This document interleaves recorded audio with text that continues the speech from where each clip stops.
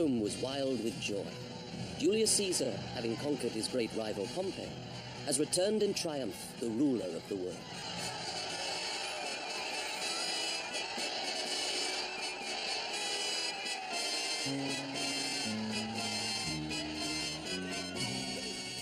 Caesar. Speak. Caesar is turned to hear. Beware the Ides of March. What sayest thou to me now? Speak once again. Beware the Ides of March. he is a dreamer. Let us leave him. Pass.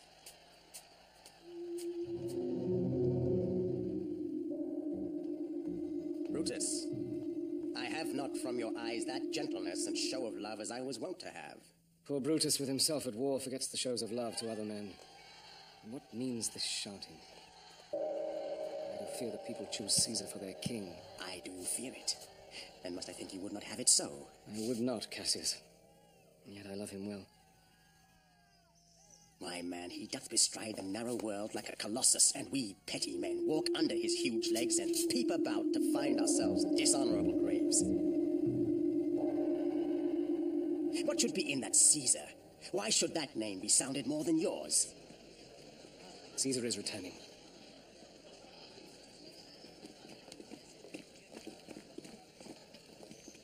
Antonius, Caesar?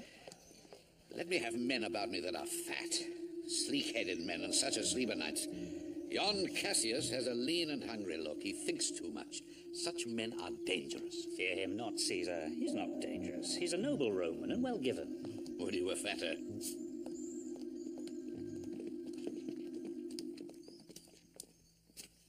Casca, tell us what hath chanced today that Caesar looks so sad. Why, there was a crown offered him. He put it by, but to my thinking he would fain have had it. Who offered him the crown? Mark Antony. What was the second noise for? Why, for that too. Then he put it by again, but to my thinking he was very loath to lay his fingers off it. As he refused it, the rabbleman hooted and uttered such a deal of stinking breath that it had almost choked Caesar, for he fell down at it. Tis very like. He hath the falling sickness. No, Caesar hath it not. But you and I and honest Casca, we have the falling sickness. I know not what you mean by that. Farewell, both.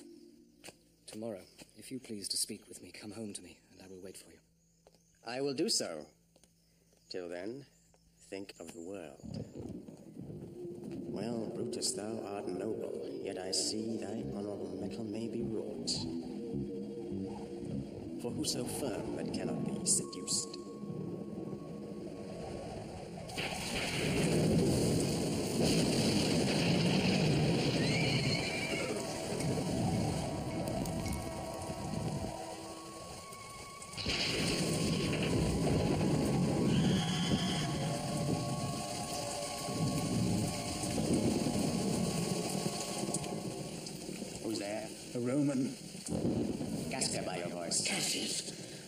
Is this? Whoever knew the heavens men are so? Those that have known the earth so full of faults. They say the senators tomorrow mean to establish Caesar as a king. I know where I will wear this dagger then. Cassius from bondage will deliver Cassius. So will I. Stand close while. Tis Cinna. He is a friend. Oh, Cassius, if you could but win the noble Brutus to our party. Good Cinna, take this paper and throw this in at his window. Parts of him is ours already. And the man entire upon the next encounter yields him ours.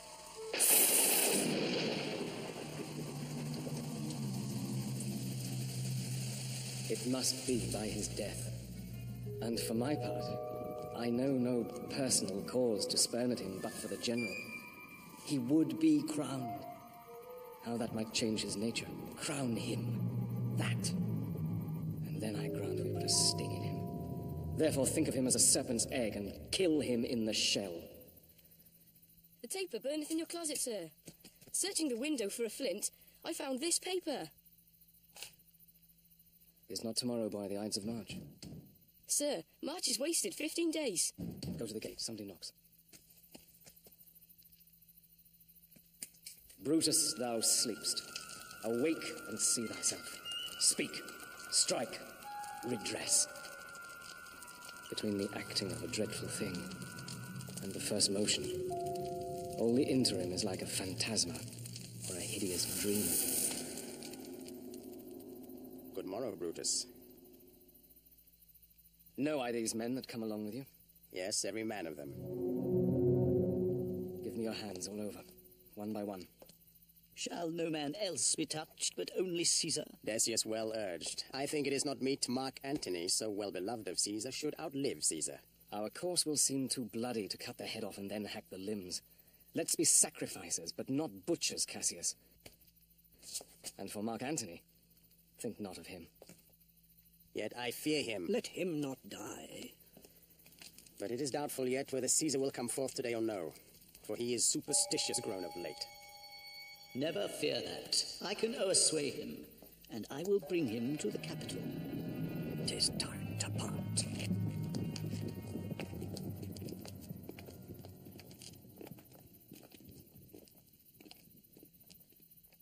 Brutus, my lord. Wherefore rise you now? Dear my lord, make me acquainted with your cause of grief. Portia, I am not well in health, and that is all. No, my Brutus, you have some sick offence within your mind, and upon my knees I charm you, by all your vows of love, that you unfold to me why you are heavy, and what men tonight have had resort to you. Kneel not, gentle Portia. I should not need if you were gentle, Brutus. Dwell I but in the suburbs of your good pleasure? If it be no more, Portia is Brutus' harlot, not his wife. You are my true and honourable wife, and by and by thy bosom shall partake the secrets of my heart. What mean you, Caesar? You shall not stir out of your house today. Caesar shall forth. I never stood on ceremonies, yet now they fright me. There is one within recounts most horrid sights. These predictions are to the world in general as to Caesar. When beggars die, there are no comets seen. The heavens themselves blaze forth the death of princes. Cowards die many times before their deaths. The valiant never taste of death but once. Alas, my lord, your wisdom is consumed in confidence. Call it my fear that keeps you in the house and not your own. For thy humour, I will stay at home. Caesar, all hail. Decius, you are come in very happy time to bear my greetings to the senators, and tell them that I will not come today. Most mighty Caesar, let me know some cause. The cause is in my will. I will not come. That is enough to satisfy the Senate. but because I love you, I will let you know. Calpurnia here, my wife, stays me at home. She dreamt tonight she saw my statue, which, like a fountain with an hundred spouts, did run pure blood, and many lusty Romans came smiling and did bathe their hands in it. This dream is all misinterpreted. It signifies that from you great Rome shall suck reviving blood. Ah, and this way have you well expounded it. And know it now, the Senate have concluded to give this day a crown to mighty Caesar. If you shall send them word you will not come, their minds may change. How foolish do your fears seem now, Calpurnia? I will go.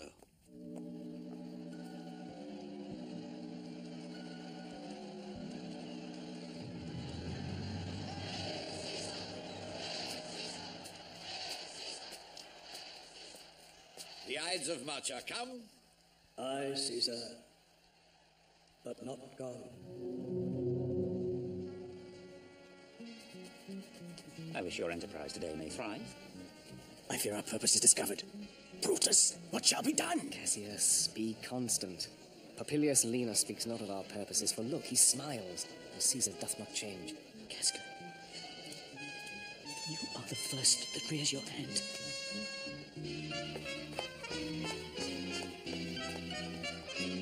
Most high, most mighty, O Caesar!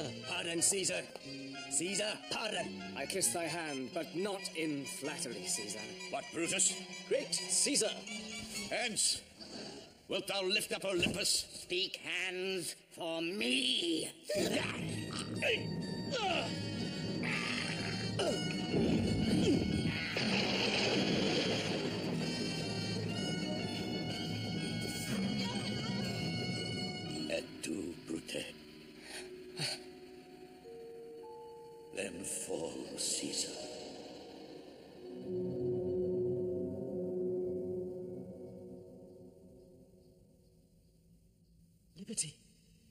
Freedom. Tyranny is dead.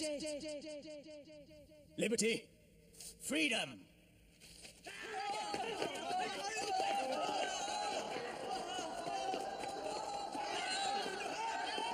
Why not? Stand still! Ambition's debt is paid! Then walk we forth, even to the marketplace. Let's all cry peace, freedom, and liberty. Where is Mark Antony?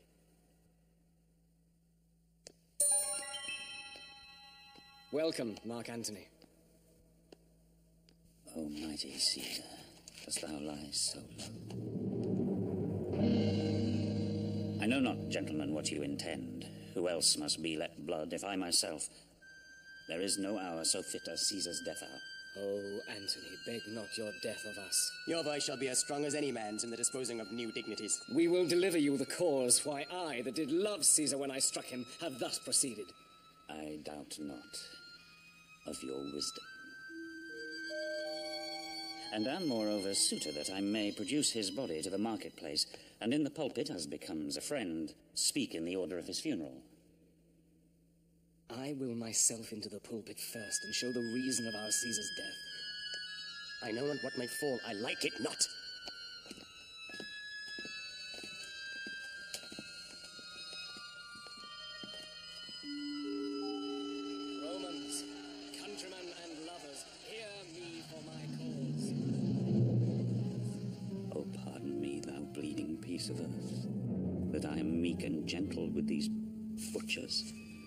Woe to the hand that shed this costly blood. Cry havoc, and let slip the dogs of war. As Caesar loved me, I weep for him. As he was valiant, I honor him. But as he was ambitious, I slew him. I have the same dagger for myself. When it shall please my country to need my death.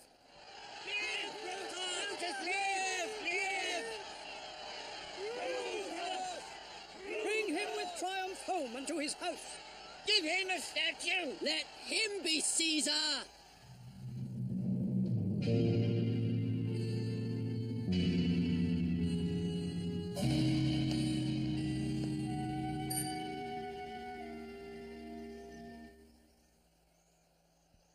Friends, Romans, countrymen, lend me your ears.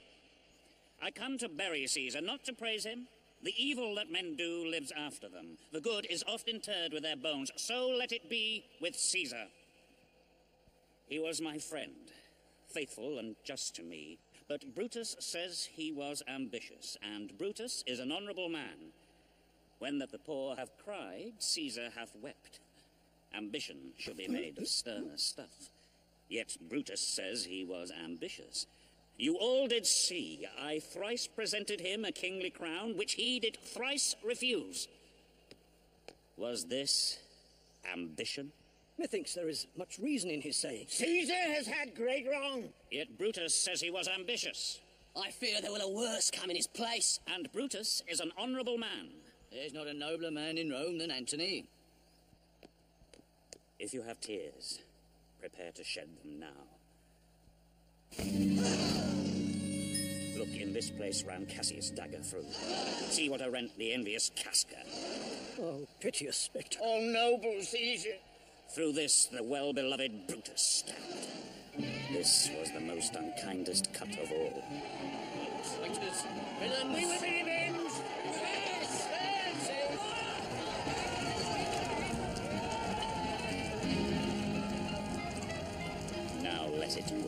Mischief, thou art afoot. Take thou what course thou wilt. The conspirators fled from the fury of the people. Anyone against whom there was the smallest suspicion was ruthlessly put to death by order of Mark Antony and young Octavius, Caesar's nephew and heir to his name. Brutus and Cassius fled into Asia, where they raised armies to march against Antony and Octavius. But all was not well between the friends. Brutus accused Cassius of taking bribes. I, an itching palm. When Caesar lived, he durst not thus have moved me. You durst not so have tempted him. Remember March, the Ides of March, remember. Did not great Julius bleed for justice' sake? Do not presume too much upon my love. I may do that I shall be sorry for. You have done that you should be sorry for. You love me not. Oh, Cassius. I am sick of many griefs. Portia is dead. How escaped I killing when I crossed you so? Upon what sickness? Impatient of my absence, and grief that young Octavius with Mark Antony have made themselves so strong. With this she fell distracted and swallowed fire. Portia, art thou gone? No more, I pray you. I have here received letters that young Octavius and Mark Antony come down upon us with a mighty power. What do you think of marching to Philippi presently? I do not think it good. Our cause is ripe. The enemy increaseth every day. We at the height are ready to decline. There is a tide in the affairs of men which, taken at the flood, leads on to fortune. Then, with your will, go on. We'll along ourselves and meet them at Philippi.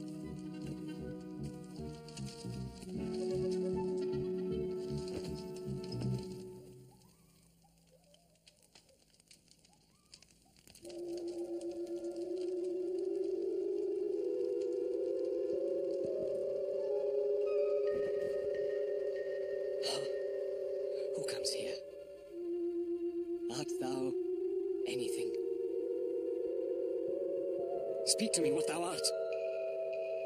Thy evil spirit, Brutus, Why comes thou? to tell thee thou shalt see me at Philippi. Well, then I shall see thee again. I, I, On the plain of Philippi, the armies of Octavius and Mark Antony await the coming battle. Octavius, lead your battle softly on upon the left hand of the even field. Upon the right hand, I. Keep thou the left. Why do you cross me? I do not cross you, but I will do so.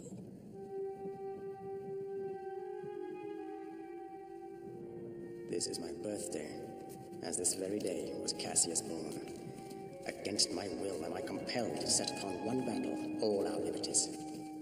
Now, most noble Brutus, if we lose this battle, are you contented to be led in triumph through the streets of Rome? No, Cassius, no. But this same day must end that work the Ides of March begun, and whether we shall meet again, I know not. Forever and forever, farewell, Cassius. If we do meet again, why, we shall smile. If not, why, then this parting was well made. Forever and forever, farewell, Brutus. If we do meet again, we'll smile indeed. If not, it is true this parting was well made.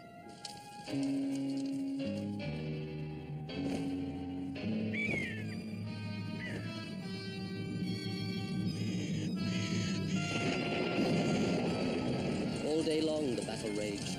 At last, the sun went down at Philippi. Antony and Octavius were victorious. Fly further off, my lord. Mark Antony is in your tents. This day I breathed first, and where I did begin, there shall I end. Time is come round.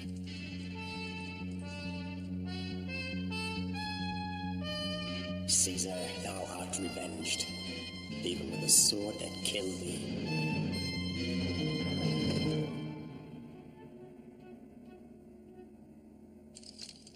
O Julius Caesar, thou art mighty yet. The last of all the Romans, fare thee well.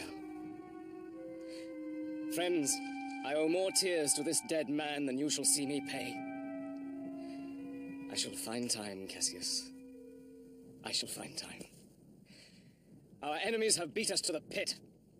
It is more worthy to leap in ourselves than tarry till they push us. I know my hour is come. Caesar, now be still. I killed not thee with half so good a will.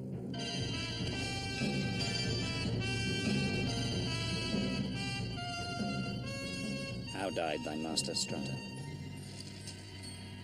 Brutus only overcame himself, and no man else hath honor by his death. This was the noblest Roman of them all. All the conspirators, save only he, did that they did in envy of great Caesar.